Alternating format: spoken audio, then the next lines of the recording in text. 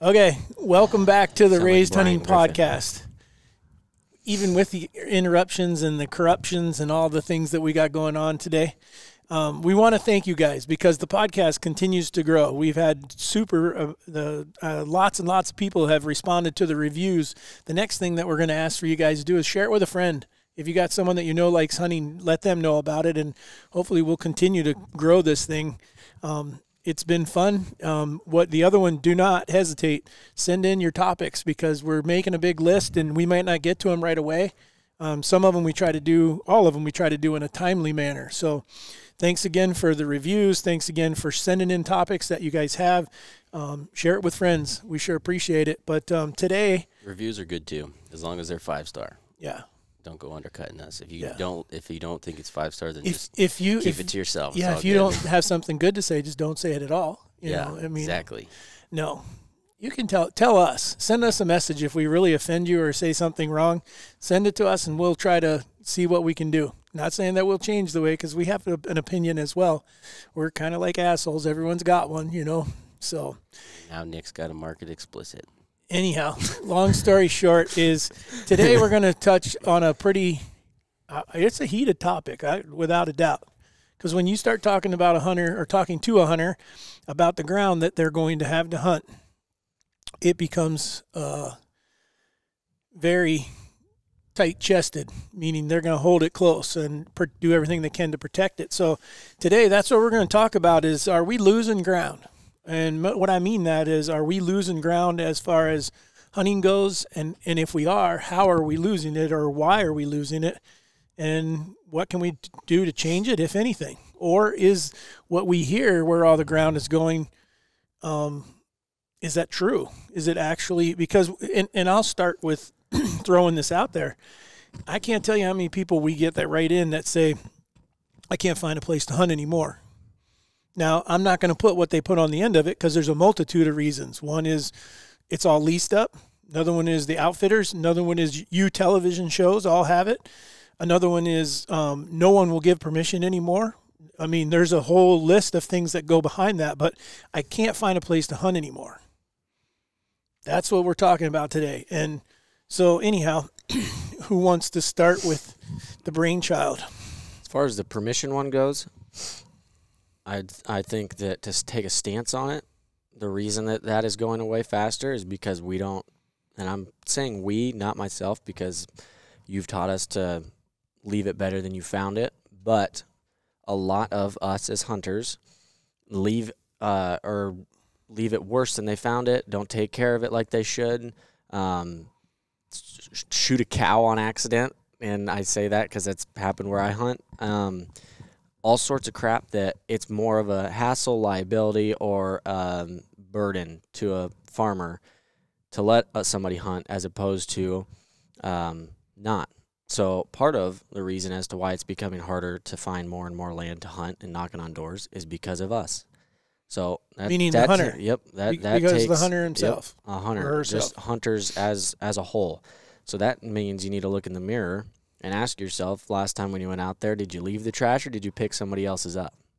So for the for that specific one, that's my my stance on that is, uh, it is getting harder, but it's our own our own doing. So, but you can still do it. Uh, it just sure you might, can. what me and Warren have done it multiple times. We're probably now over hundreds of doors knocked on in Iowa, and maybe out of all of them, five yeses, if that. So Yeah, I'm not going to say it's just a matter of going and knocking and knocking and knocking. Nobody says it's gonna be easy. I think that well, one, I'd be curious to ask this. Just thinking of hunter numbers as a whole. Okay, so right, we were for a few years there, hunter numbers were down. Then COVID came, and now hunter numbers are back up. So maybe that could have a contributing factor. But I guess this would be my question. So is, if you look back to, I think it was like the mid '90s or the late '90s, that was when the most hunters were in America. And I'm going to ask you to speak to this because I was five, um, so I don't remember all that clear. What was getting permission like back then? Like, was it one of those deals where you go knock on ten doors and you were going to get eight yeses? Now I know that we were in Montana, so that was a big my my question is this: Is it really all that different than it used to be, or just social media makes it way more prevalent and it seems that way? So, like on the East Coast when you live there, because I remember you guys had hunt clubs and stuff. So Mhm. why did you have hunt clubs if it was so easy to just get permission anywhere? It wasn't, and and and I and so I would answer that question with, I don't think it's it's relative, meaning it it's so it's just like it was in the '80s. So in the '80s, I lived in Virginia. Okay, so I lived in a rural, I mean, in an urban area, and I'm having to, I don't live, I don't know anybody, and I'm knocking on doors, and I'm probably in the same percentage, Easton, that you were. You know, I don't know if it was 95. Um, that might be an exaggeration, but I knocked on a lot of doors without getting permission. Then someone would say yes and then what you have to do is try to take care of that and, and harbor that closely and and I mean that by the relationship you build with that person is not about just showing up once a year for the day that you want to go hunting it's about a relationship so that they invite you back they want you to come back however the other thing that happens there though and I didn't pay a dime for those grounds but the next guy that knocks on the door might not get permission someone's already hunting here Oh, well, does that make the person who got permission first wrong or bad? They're not paying anything. They're not, they just knocked on the door first. Right. You know, so, um, so to answer your question is no, I think that, and it's very similar to what I say is going on with CWD and EHD and all these other things that you see happening now seems way more prevalent. Meaning, like we see EHD break breakouts, and it's like, oh my gosh, all the deer are going to be dead, or CWD is here that has been there since I was a kid and I was hunting. We just didn't hear about it. We because we had, didn't have a way to. We the only people we could talk to is the people that were our neighbors or a few other hunters that you would see in this local sporting goods shop. Yep. Other than that, we didn't know what was going on on the other side of the mountain, especially on the other side of the state or on the other side of the country. Now I can tell you what's going on in the state of Washington. If someone pisses the wrong way and pisses someone off by doing that, and it makes it into social media, I can not only know what's going on, I can have a comment about it in the next 35 seconds. And so now I'm part of that. Well, I think so. I saw a really interesting news clip, newspaper article from like the '70s the other day or something like that, and it was basically every single thing, not not hunting related, but every single thing that people are complaining about today. Worst president we've ever had. Um, you know, a gallon of milk is fifty cents. A gallon of gas is, is forty five cents. You know, the whole economy is going to crash. All of like every single thing that people like it, the exact same problems that we all complain about today. It was exactly the same 40 years ago. I think it just seems to me like it's just so the information is just so much more prevalent that we look For at some of these things. And now it, it, I would say, I think Montana was quite a bit different for getting permission, was it not? Well, you, the big thing about Montana is, uh, as opposed to Iowa, which we were just looking up, Iowa's got like 1% of the ground is public, you know, and not all that is huntable public. Montana is like 60% or 70% is public land that's open to hunting. You So- also have a state that when we lived there, I think there was what 600,000 people No, it's just under a million. in. yeah. Well, they just crossed a million not too long ago. I think it was quite a bit less when we first moved there. Oh, I, I, I'm telling you. Okay, but so either but- way, and then the land mass though is what twice the size of Iowa. Mm, or two and a half, it's huge. Yeah, so your your density of people overall Yeah, for is sure. So so it wasn't as big of I don't want to say it wasn't as big of an issue because it still was because a lot of your public lands are not as good a hunting ground. The, the state doesn't own them. The the big one that that comes up out there is a lot of landowners are able to buy land or rent land, I guess you'd say, from the state for cattle, which ties up land that is actually public where you can't get to it because the there's most people that don't live out west won't understand that, but there's no checkerboarding, meaning you can't step from one square to another square if corner if crossing. you, you can't cross the corner. And so, as all that a landowner has to do is own a handful of sections, and then all these other sections are not huntable anymore, even though Well, they belong to the leases, state. though. That's they own the property. It's just surrounded by the way it's broke up. Exactly. It's It allows them to add to their, or they could own, own the borders of a sixty thousand acre piece of public, and as long as they have those borders, then there's no way for them to get to that. Right? Here's what I would tell someone to go do. Anyone who, uh, and I'm not advocating onX or HuntWise or Hunt Maps or whatever anyone is. Take one of those. Go look at the state of Iowa. I mean, oh, go look at the state of Montana or, or um, Wyoming, um, Idaho. Those are a few that I know that they're big. Find some of your bigger ranches, and you'll find that even a 50,000 acre or a 100,000 acre ranch, they only own like 25, 30, 40,000 of those acres.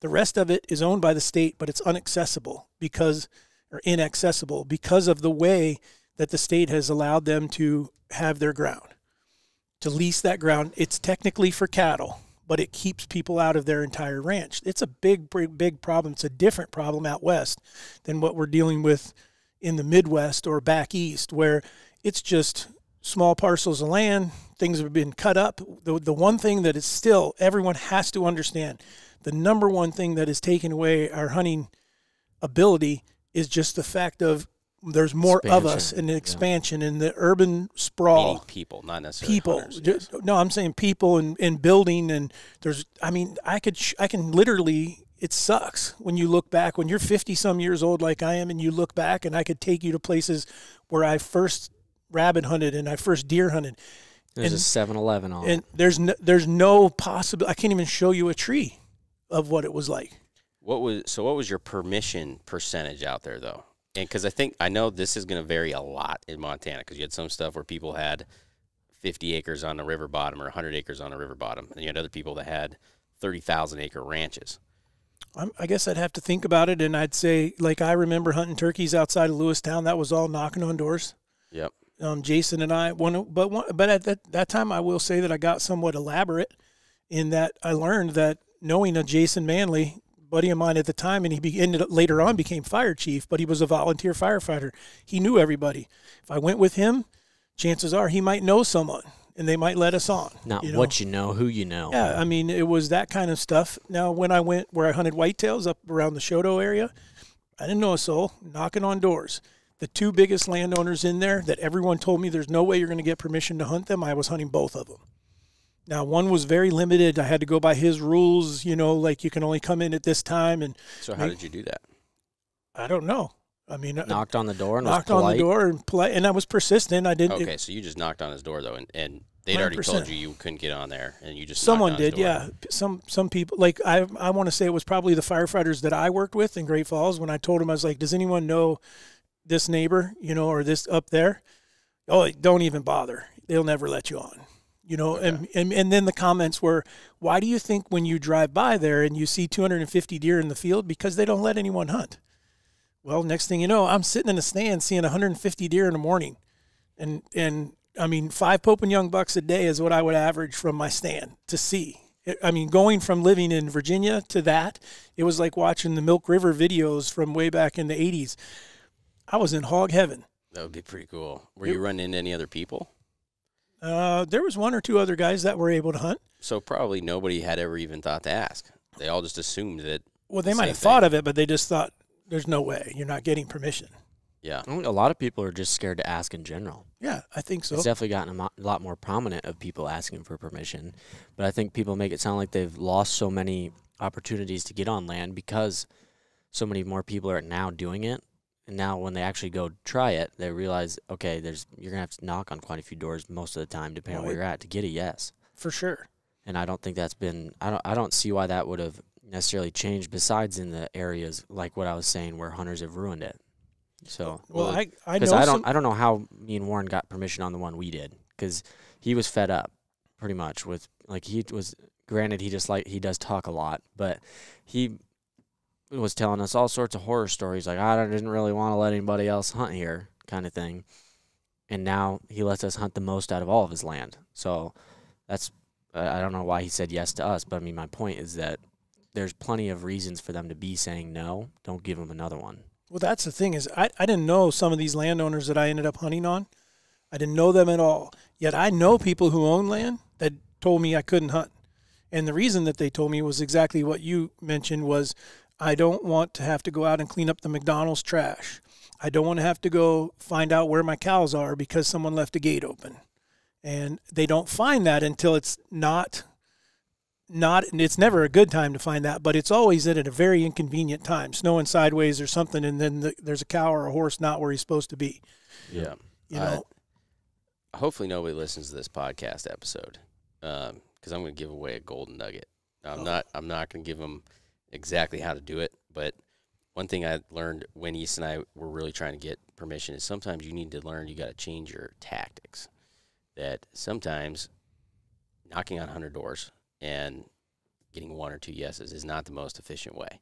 It's a Well, it's not efficient at all. no, no, it's a it's a brute force tactic. But I think then you have to look at at the same time too is what you're what we're talking about doing is being a completely random person going up onto somebody's doorstep oh, I know what you're going and to then say here. asking them to hunt on their property and to come onto their place whenever you feel like, and they don't know you from Adam. I mean, they don't know who you are at all. Opposed to, like, let's just say, you know, for us that don't own land, if somebody came up to me and they're like, "Hey, can I sit in your in your backyard um, and try and shoot that rabbit?" I'd be like, "Absolutely not. I don't know who you are. I don't know what you're about." So, before you go and pop the big question, maybe try to come up with ways to build relationships with those people before you're asking them to go and, and carry a, a firearm or a, a bow or any kind of weapon and kill an animal on their property because uh, there's not going to be a ton of people that are going to be okay with that. From my experience, the ones that are going to be okay with that is going to be your farmers that hate deer. And guess what? That's the ones that everyone else is going to complain about. They let everybody hunt because they just want the most deer dead. Absolutely. So, but you may need to take a little time and think about how can I do this? And and this does work. I know for a fact it works because I do it. Try and build a relationship with them before you go and, and ask them something like that. And then, but that's a lot of work as well. Like you got to be ready. Like you're gonna have to, um, you know, call them from time to time. Maybe take them permission brownies. Uh, maintain a relationship with them that lets them know that hey, you can trust me. I'm not a I'm not a piece of shit. I'm not gonna let your cows out. I'm not going to do those things. And I think that you'd be shocked at the amount of ground that you can get on. Because I do hear a lot of people saying it's impossible to get on ground nowadays, and and um, I don't agree with that. I do agree with it. Maybe it might be harder to because I think 25, 30 years ago, people were just less crazy, or it wasn't as apparent. So people were willing to allow just a random person to go on their property. But you have to remember that you are a random person to them unless they know you somehow, which I think that's why landowners, once you get in with one, then a lot of times they're willing to Tell you, tell you their the- neighbor. Yeah, and Yep. I mean, The other thing, make sure you um, specify. This is where you get a little bit of a benefit. Um, specify what kind of hunting you're doing, whether it's Mhm. bow hunting, rifle hunting, shotgun hunting, whatever is legal in your area, but not biasly to us. But we primarily bow hunt. I always open with, "Hey, I was just curious if you'd maybe allow any archery deer hunting," and they have been more much more open to archery 100%. than they are rifle solely for the fact of I think mainly because they don't have to worry your arrow's going to go 30 yards, 40 yards, and long, as long as you're not launching it. Um, as Little they opposed, know. yeah, as opposed to a rifle can go miles if depending on what kind of gun it is. But um, so that's one way, another way to kind of open them up. Like, oh, that's that's that doesn't bother me about having that around my cows, kind of thing, you know. So So, but I mean, so weapons can be one thing. The last thing that you want to do is is not be truthful. And what I'm saying to that is, if you hunt with a crossbow, tell them you're going to be using a crossbow. Because the moment you tell them that you're an archery hunter and you're going to show up and you're going to want to go archery hunting, and all of a sudden they see you pulling out this thing that looks like a medieval scope on it and everything like that, they're like, "What the heck?"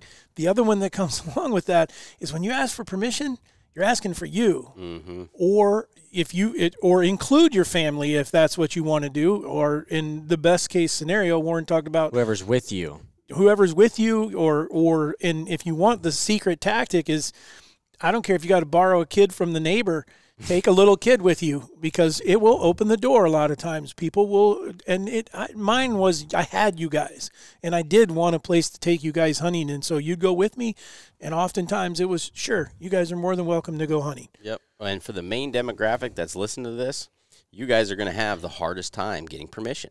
Take your girlfriend with you, take a wife with you, or your kids, because is what happens is when you're a you know 20 to 50 year old guy and you're standing on the porch of a little old lady that lives alone or um, maybe of an old gentleman especially at night or something like that and they don't know who you are they're scared don't go at night. and Yeah. yeah. I wouldn't be going at night at all. And then the other thing is when you knock, then get back. Like give them some space where they don't feel like, hey, I'm going to get mugged.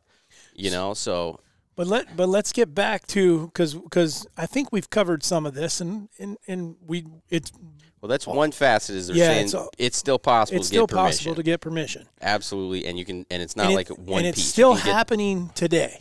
Yes, Meaning we know people, including parts of ourselves, that have gone out and found permission within the last year or two in the state of Iowa, even when so much ground is leased up, so much ground is owned, so much ground is not public, so much ground has been built on. There's not as many places to ask.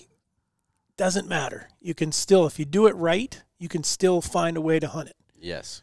Let's talk about what's changed with public. What about public? So nobody talks about this. This is what I find is interesting. Is everybody wants to talk about how all the ground's gone and this and that. Well, one what is what's been a major major thing that's changed on public ground in the last really prevalent 10 years? You talking about the mobile hunter No. or, or what? Oh yeah, being able to onX. access, find it. Oh, you onX, find it really hunt easily. stand. Yeah, before I remember I remember as a kid you coming home with books Oh yeah, uh, from Plat or, and I remember going to Fish and Game because I loved looking at all the animals they had in there. And they had the getting- rolling maps and stuff. Yeah, and it, yeah, Yeah. and, and that was a lot see, of fun. and you could buy five maps at a time from the block manager. I mean, and not- then and you could push the button on the And screen in there, and, and then all the you Indians something. would come up on there. And. Yeah. it was an Yeah. experience to go there. I- I I remember wanna that go as a back kid too. now almost. But I remember going in there every year, and you'd get the new. I think maybe it was like what's their program out there for block, block management. block management stuff. Mm-hmm. That so now you eliminated how many people that weren't willing to go through the effort of going to the fish and game headquarters every single year. Right away, you're going to eliminate a huge amount of your out of staters oh, that they're only going to go to what they know. So you were able to find tons of ground that was really good stuff that nobody else was on because nobody else was putting in the time or the effort to find that. Now you can find it all on your phone in 10 seconds. There's Oh, yeah. nothing else that that gives anybody an advantage over anyone else. onX has them even like you can download what I was having to go physically get and put it right on there. You can use it as a layer, Right. and it tells you where it is and what it is and stuff like that. So So I think that Ban that's something- onX.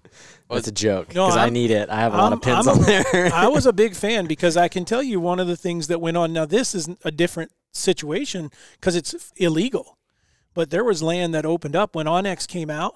There was public land that I was able to hunt that I had not hunted, even though I had hunted right next to it because the landowner had fenced the ground Yep. and he and he had cut the himself out. he no he cut yeah he cut him out cut a big chunk of the public land onto Yeah. his property.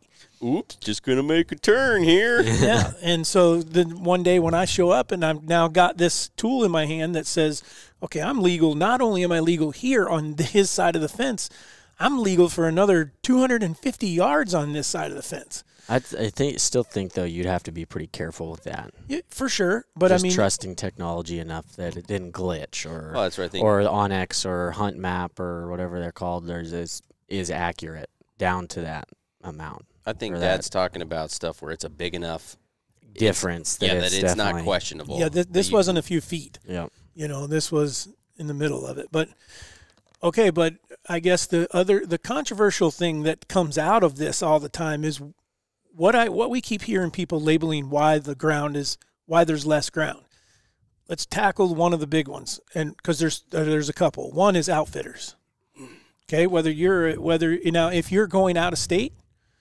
chances are you want to go through an outfitter if you live on the east coast or down south and you go to harrisburg and you or you want to go on an elk hunt, you're going to do it one of two ways. You're either going to do it yourself, and the chances are you're not going to hear an elk, you're not going to see an elk. You're going to see a whole bunch of other hunters. You're going to put it yourself in a place. You're going to spend way less money, which you know, great for you, but you're going to have an absolutely I don't want to say you're going to have a miserable hunt because killing something isn't about that. It still may be fun. Unless you get lucky and find a spot or Yeah, know you- somebody that can get you somewhere that's Yep. off the beaten path. But Well, but that's one way of going about it, and like, and and eventually you will probably figure it out. Well, I think though is what you're talking about there though too is now if you're from the East Coast or from somewhere else and you're going on your first elk hunt, in my opinion, especially if you're doing this on your own, you're not giving yourself a good environment to learn. You are going to the most difficult possible scenario to sure. try to learn how to elk hunt. So now instead of dealing with an elk that may behave appropriately when he's called to, Well, he's already been called to by 473 other dudes. So when you call to him, you sound just like those other dudes, and you and you're trying to make you're trying to get yourself to do the most difficult thing that only those guys that have spent a ton of time and figured out those little tricks are able to pull off over and over. In my opinion, you'd be much better off giving yourself a solid base of information from learning from somebody that knows what they're doing before you go trying to do the most difficult thing you can. So, to, and and I'm I've been on all facets of this. I grew up in the East, I d and and I dreamed of going elk hunting. Had no clue how to start, how to even, and I n- didn't think I could ever afford it. You know, because even to go just do DIY type deal still gonna cost a couple thousand dollars because the tag alone is a thousand and fuel and everything else.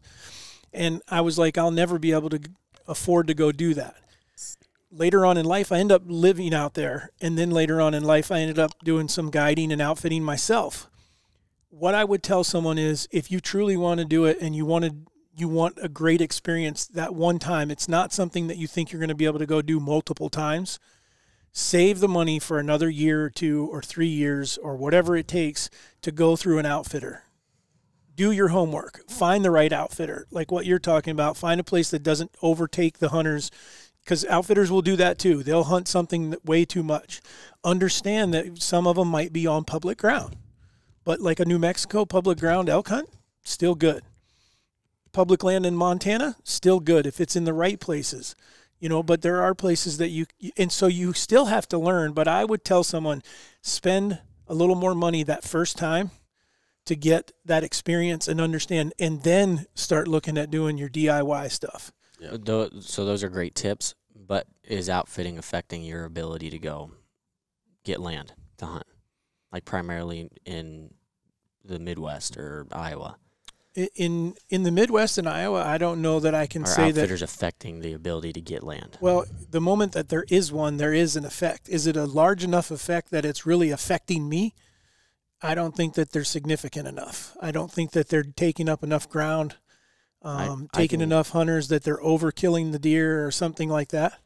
I can Um, think of two off the top of my head that I hunt near or have hunted near. One being Warren just told me it's a lot more than I thought, but has a ton of land. And then the other one, from what I know, has quite a bit. And I mean, granted, I don't go over there to that section because I know that they or they're outfitting it or whatever. But at the same time, I haven't had any issues getting the land that I'm hunting now that is near it. So it's not like it's completely.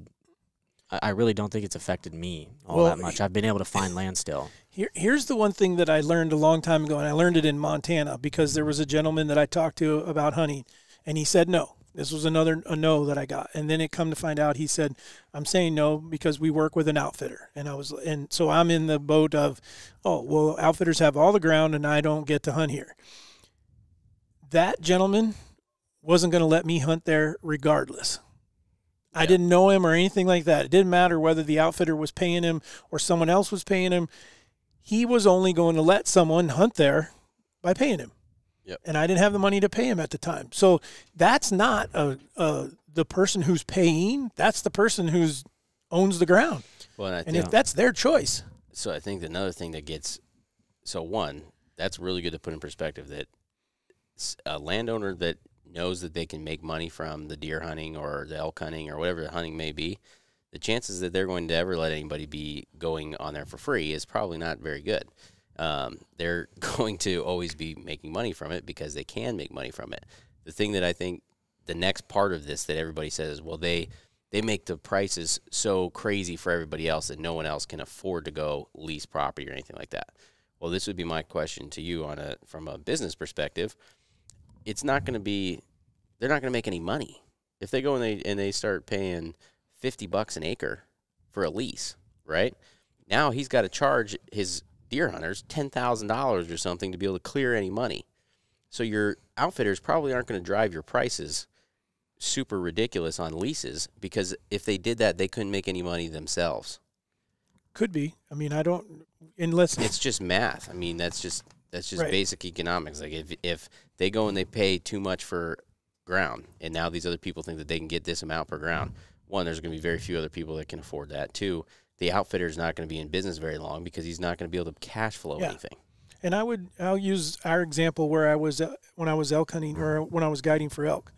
The outfitter that I worked with, we had about 12,000 acres that we were hunting. He didn't pay them a whole ton of money, but I can tell you right now, no one else was going to get to hunt there. He had a reputation or a rapport with that landowner is the only reason that we were getting to take a few hunters in there. Now he was paying him by the by the animals that we killed, not by the amount of land. But someone could not have come in there. I believe that with all my heart. I know the gentleman that owned the ground. And if I had walked in there not knowing him today and said, I'll pay you quadruple what this guy is paying you, he would have said no. Mm-hmm. And I still wouldn't have been able to hunt there. Yep. I mean, it's just, I mean, that's the whole thing is that, that a lot of this we just want to blame. Well, there's people that are the other way too. Uh, We've met people that will never lease.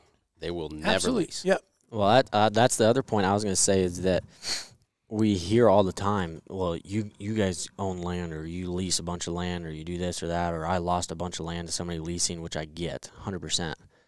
But at the same time, for my own sake, because I now for the past year or two had felt like, okay, if I, I could go get maybe like 50 to 100 acres or something, possibly depending on how much they're going to charge me to lease my own piece of land. I thought that would be awesome.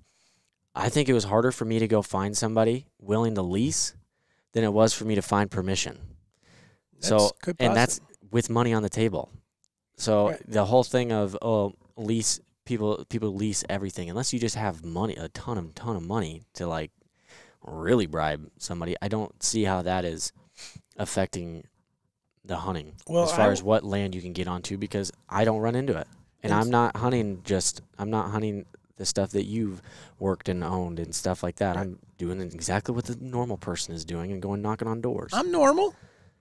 yeah, you've been normal, but you've worked for 40 plus years to finally get to a dream just of in- getting land. Right. Which I'm is just in a still different. not like. Why don't we tell everybody how much ground raised hunting owns? we own 170 acres total. 100. Wow. I know everybody is acres. shocked because according to half of TikTok, it must be nice to have our millions of acres. Right, or and I am so acres. upset that they aren't right. Because I, I would 'Cause be, yeah, I'd I be could doing the own more. violin trend with uh with plat maps of our freaking land. if that was the case. If if That'd be. Dad's not going to know what that is. no. I know that I if I had my choice, I would own more. But I that's what I've been able to Right. afford at this point. So I think where this stems from, though. So then let's just go ahead and attack the TV shows. The TV shows and the outfitters are the reason that you can't get on ground anymore. So one, let's just talk about. Let's just play devil's advocate for a second and say that your leases, right? So I guess who started doing leasing ground? When did that start happening? I feel like It's been going on. Well, I can tell Started you. Started with farming, probably. Well, I mean, I can tell you that yeah. For I belonged to a hunt club back in Virginia. That would have been in '87 or '88. did And- they buy that ground or did they lease? No, they ground? leased it. Okay, Uh, so- they were doing it then. And when I say they, it was a guy that went out and he found multiple places in multiple counties and leased the ground. Then he, like, you basically belong to a hunt club. And I don't know how many of us were in the hunt club. Never met the other guys. Everybody pays something to be in the club, and then they $225. got access to all this ground. Yeah, okay. Yeah, and you would call him, and he would tell you, okay, this piece of ground is open, and Okay. then even the pieces of ground were marked like an A, B, C, or D, and so you got section A. That's where you stayed that day. Okay. So now we know that leasing it, and so it's probably been much earlier than that, but at least Yeah. since the 80s. For sure. So now let's say the only thing that could have changed between the 80s and early 2000s is then there was TV, and, and hunting TV got much more popular. So maybe, which I don't, was the Drurys or Realtree Monster Bucks or anybody really talking about all the leases they had? Like, where was that getting publicized? Mm, I, I you know, I, I guess out in Montana, you did hear some of the um, Realtree and them when they leased along the Milk River and stuff like that. There was, but again, So my question is, did TV start talking about leases and let all the landowners know? No. Because that's where the root of the question comes down to: is when did the landowners know that there was value in the wildlife on their property? I, I don't think that's what the premise of saying TV shows have ruined. I think it's more so the fact that TV shows have the access to do it, not necessarily are telling everybody Well, to I'm go just- lease land. No, that's when that's that's why I'm playing devil's advocate because there would be a much larger impact by by saying that TV brought leasing to the forefront. Now all of a sudden everybody knew. Now some farmer watched it and he said, "Holy shit! I can charge somebody five thousand dollars to come shoot my deer. Well, the other And s- my point is that I don't think we're assuming landowners are really stupid if they didn't already figure that out with that being around from the 80s. You can't sit here and tell me that because TV, that's the only reason that people found out that they could lease their ground out to hunting and make money. Well, I think that you're No, missing. they've been doing it with farming forever. but That's I my think point, you're is so missing. it would've happened no one matter major what. element. You're missing one one major element that the misconception. TV means you're rich. That's my point. Yeah. It was TV saying that you have the ability to do it. Yeah, Right. but you're talking about ground that you're on. You're talking about grounds that TV's shows are leasing up. No, and, No, and I'm I saying think what Dad's saying that what they what, the what I think people are referring to is okay, you're on TV, you're making a lot of money, so either you bought it or you're leasing it, and you can pay whatever that Yes. they're asking for. Yeah. And that simply is not. There is a limit. There is. Will I pay for ground to lease? Yes. Why? Because I don't like to deal with. I can't deal with it when this becomes part of what we do for a living. Then I can't have outside entities and things like that out of your control. out of my control. Trust me, I, w- I- if I had my choice, I would still hunt all public for elk. All that's all I would do.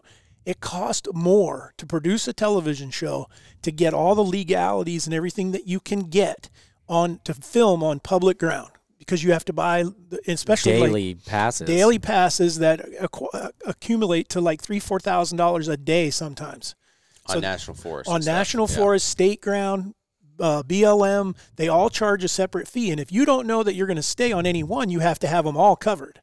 Yep. If they're if all of it is there, so that's one thing like out west. And then when you get it back here, same thing. If I and we hunt some places where we share land with other people, and in certain situations it works out phenomenally. We talk to them. I'll I'll bring an extra stand, put it behind theirs, or work with them, or I call them and say, hey. Um, we're not hunting in there. You're welcome to go sit in our stand. We're not hunting, and and that to me works phenomenally. I love I- it. I love it when we have that rapport with people because we share the, the trail cameras and things like that with them. Squirrel. Squirrel, You. whatever. On your No. topics. No, but what I'm getting at he is is on one today. no, but uh, what I'm getting at is then what happens though is you get another place that someone doesn't like what you're doing. You, because they think that we because I because I'm going to be hunting on a Monday, Tuesday, or Wednesday, or a Thursday or Friday, or a Saturday or Sunday. This is what you call soapbox, but I'm supporting. So keep well, going. all I'm saying is And I'm, he's on it. I'm going to be doing it, and if I'm going to be doing it, then you might run into me, you might not. But someone gets mad that I do it more than they do, or I put more effort in than they do, and I kill something, and then all of a sudden they're angry. So then on that that scenario, you run into something where it's like, oh, well, he's doing this, so now we have someone that is either talking to the landowner, or the landowner is like, what do you? I didn't realize you were going to be out here that much. When you lease the ground, they understand you're c- coming. You're and and and I am like way more upfront with people when than I ever was because I've been through enough of it to be able to say this is what I'm doing. This is this is a business for me, and as much as I love it, but this is part of a business for me. So this is what we're doing. Are you okay with that? And that has worked out phenomenal. So how much ground then are how much ground are the TV shows and do we include digital people in there now? YouTube. That's what I was wondering if you're talking about like I would anybody think. that I think films something. They're leasing ground. too. Everybody films something. Yeah, now. but what do you? What, what You about the engineer? What Well, about what the- about the politician? Yeah, what there's about way the- more. There's way more people in the general public leasing up a total amount of ground than TV shows. But I'm just saying, let's let's just try and group as many TV shows. Well, Are we counting minute, though. digital guys? Those damn firefighters. Because I know a group of firefighters that went together to lease a piece of ground. Now that just you pin- don't hear that on Facebook though. Nobody's But like those right. freaking but, firefighters. But they were lease the- smart and they put their money together and said we wanted to have a private. Are private you place. referring to yourself? no, I, I'm Oh. not part of that. no, not at all. So Damn, Brett. it's not Brett either. I won't tell you who it is because it's not fair. Brett would be like, I don't give a shit. Say whatever you want. Right? Um, But if you so so, let's television shows, okay, television shows. and let's include the, We let's don't know all- include people on YouTube or anything else. So Okay. it's the biggest net that we can cast. And- so and let's just take Iowa for instance. We know roughly what we're leasing, and then I know what most of these other guys own and stuff. And um, I think a lot of them are, if you went everybody that they are associated with and everything they've managed to pull together, maybe three two to 2,500, 3,000 acres that they own a piece. Okay. Some maybe Let- let's, let's- just say go four go- or five, and you should be No, let's over. give them 10 10,000 acres. okay, ten thousand acres. Te- each each television show or YouTube influencer, whatever you want to call them, has 10,000 acres. Let's just say And we're there's speaking to just Iowa right now, right? just speaking to Iowa. And let's Okay. say there's 20 of them in the state because I only know of honestly five or six. and then we got to make sure we throw. Do we get ten thousand acres now too? Yeah, we're we're we just quadrupled it uh, or more than quadrupled. We like Times exponential ours. I gotta go, guys. I'm just gonna go. I'm gonna go let the neighbor know that that's ours now. Okay, but but if you took that number and you said 10 times 20, we're talking 200,000 acres. How much ground has has the television people just taken from Iowa? And we know this because we actually looked up the the amount of square acres that there are in Iowa. Thirty-six million. 36 million acres and they took up 200,000. And Now, in, not in public land in Iowa, there is the state of Iowa owns a total of three hundred ninety thousand seven hundred six acres. so just under 400,000 acres. Yes. Okay? That's public ground. Not all of that public ground is accessible to hunt. We did it. 200. Forty percent of the total conservation recreational lands is open to public access in Iowa. Okay, so roughly 180,000 acres is. So what we're saying is, and we went way high on the television side, that they are taking up about the same amount of land as what the public or what the state offers for public hunting, which is one percent, Which of is- the entire. less than one Less than percent. I'm just going to throw it out there and probably piss some people off with it. If you're running into the all, issues left and right and stuff of not being able to get land, you're either lazy, a prick, or however whatever other reason. Because if you are nice, polite, and you knock on enough doors, you're going to get land. It's not that. I mean, it's not fun. I don't enjoy doing it. I spend weekends doing it, driving around. You waste a lot of gas, but you meet a lot of people. You can get a yes or no here. You can find gold mines that other people haven't found that don't really hunt.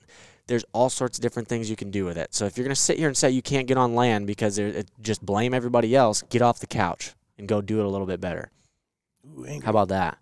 It's so annoying. Now that I'm thinking about it, I've heard so many people complaining about it. I'm like, seriously? There's Get over it. But, well, the Get off Facebook for a day for once in your life and go freaking do it. the thing I was thinking about a minute ago that when you were on your soapbox that was kind of hysterical is, you know, here it's changed. Say like used to, now everybody tells you go and uh, let's see you guys go kill a deer on public. Let's see you guys go kill a deer on public. And I'm thinking back to several years ago. This is mostly when we moved lived in Montana still, and they hated you for being on public because they're like, "You guys are showing all the spots. Get off of public," you know. And so it's like you're damned if you do, you're damned if you don't.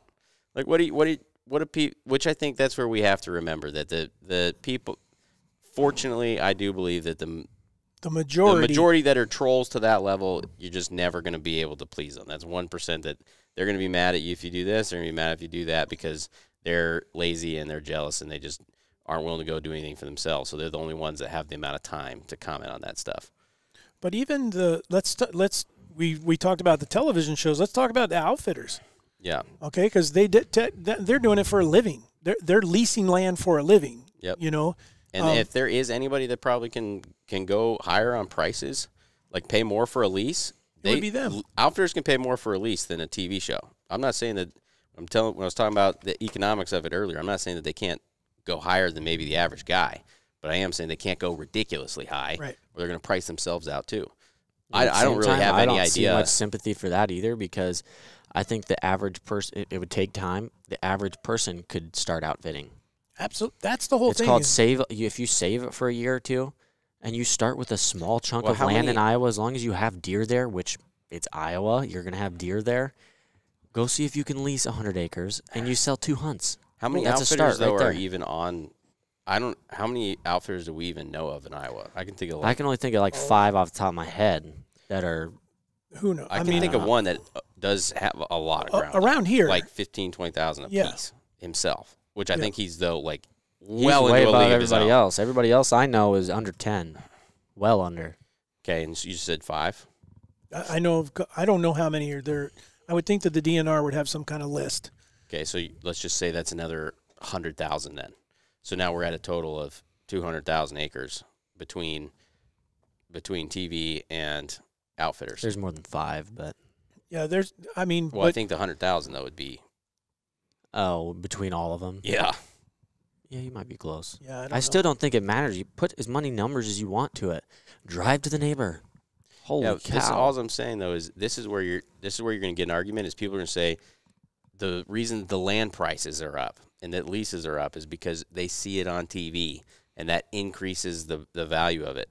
Which I'm telling you right now, when we get when we get start getting into land prices, there is nobody with TV shows either that are buying at least from the money they're making from their TV show that is buying ground at seven thousand dollars. oh no, they they have an alternative income somewhere.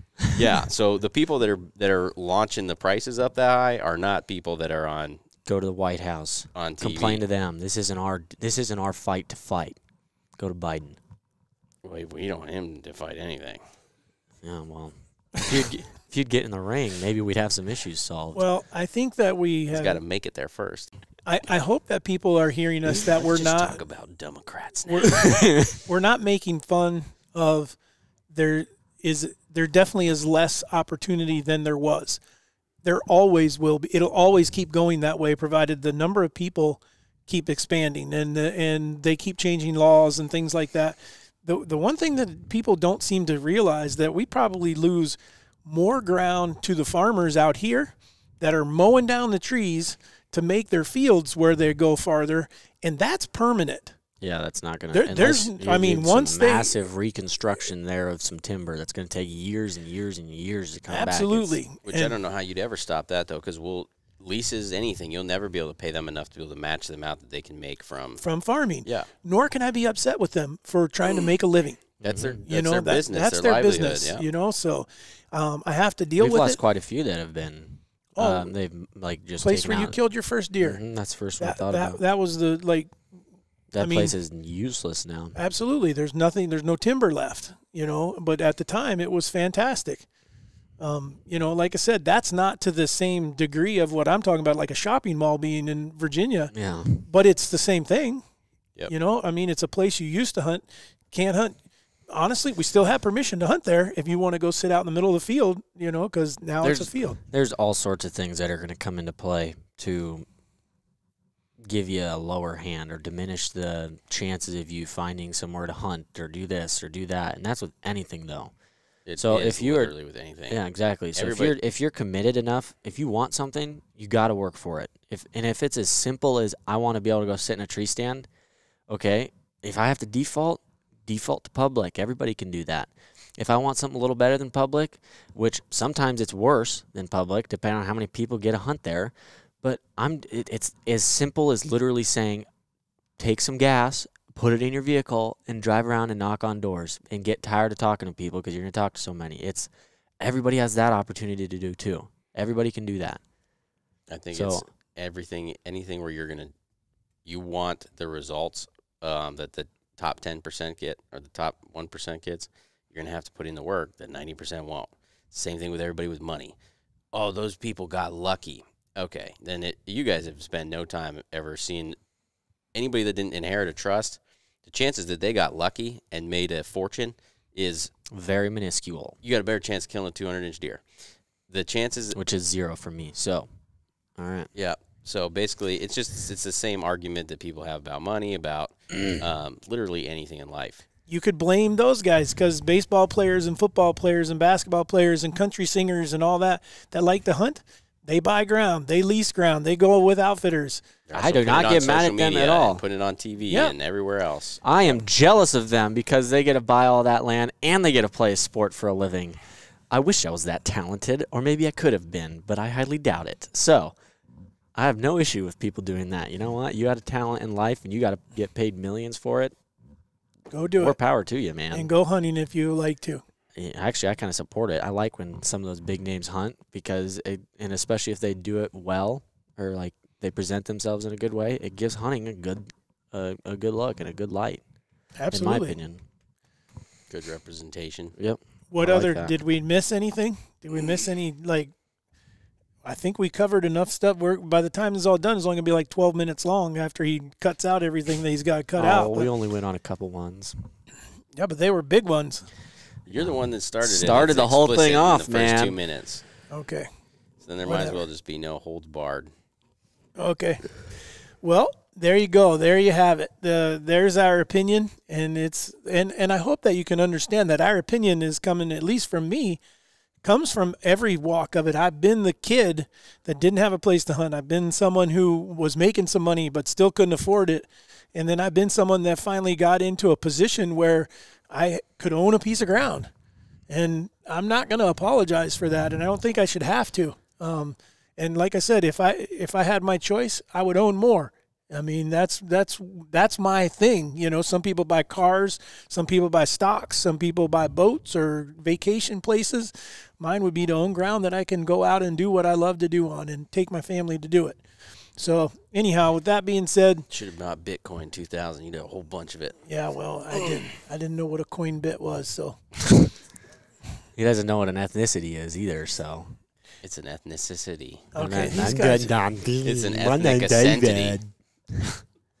All right. So anyhow, long story short is we sure appreciate you guys. Again, like we said at the top of the show, reviews. Send your let your friends know. Send them the you know if you can share this with them, do it. We're just trying to grow this thing as best we can so that we can keep talking about these topics and um, we're moving toward here pretty quickly. We're going to start bringing some guests in. So um, if you got guests that you think would be a good person for us to interview, let us know who that would be. But other than that, you or guys, maybe we should interview you. yeah, Provide us a compelling reason why you guys would be a good person to have on the podcast. We can do that. All right. Thanks again. We appreciate you guys, and hopefully you guys are out killing some stuff. So send us your pictures. That's maybe one of the biggest ones.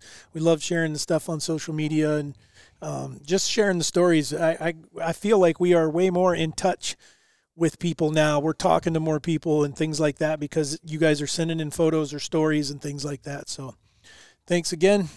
We're out.